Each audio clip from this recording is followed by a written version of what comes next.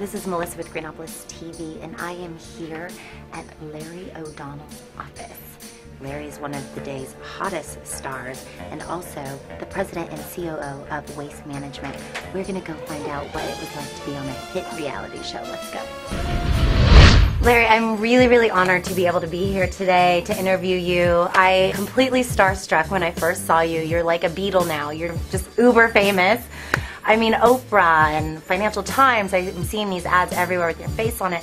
So tell me, did you ever think this would happen to you? Uh, not my wildest imagination. you know, I am definitely not a reality type person. When Lynn Brown first brought this to me, I told her I thought she was crazy.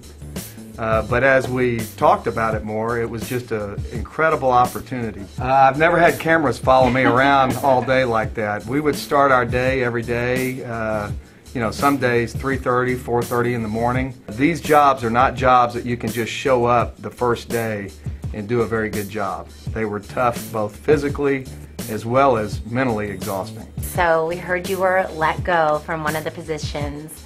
What did it feel like to be fired? We heard it was your first time being fired. What was that like? I, actually, I was I was crushed because I am competitive and I knew throughout the day that was a that was probably the longest day that I had of all my jobs because I knew I wasn't meeting my supervisor's targets and I really hadn't. Uh, I knew I was going to be in big trouble. So it was terrible. I hope that's the only time I'm ever fired in my life.